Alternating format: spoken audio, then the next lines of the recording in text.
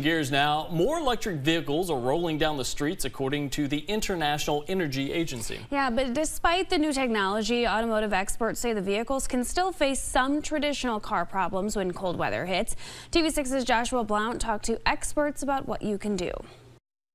Local automotive experts say while electric vehicles are starting to become more common, they won't be able to outdrive traditional car problems just yet. Jason Grice with Black Hawk College says one problem is your electric car battery being drained when cold weather hits. They have an effective operating range or an optimal oper operating range between 32 and 80 degrees. Uh, when it starts dropping below 32 degrees, they see about an average of 20% decline in their uh, overall capacity every 10 degrees below that, it seems to drop about 10%. So cold weather is not good for it.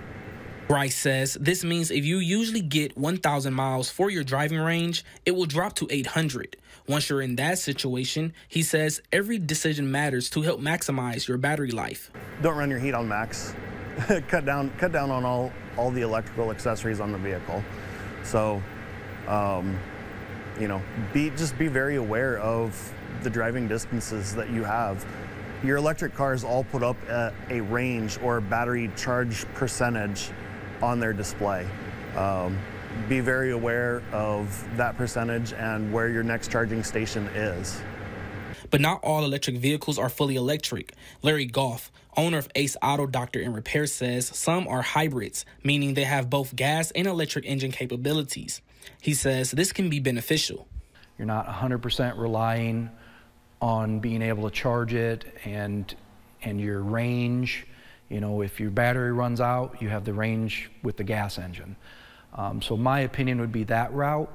Um, also, you're going to still see great savings in fuel economy because you do have the electric side of the vehicle. Goff says owners should read the owner's manual to get more familiar with their electric vehicle.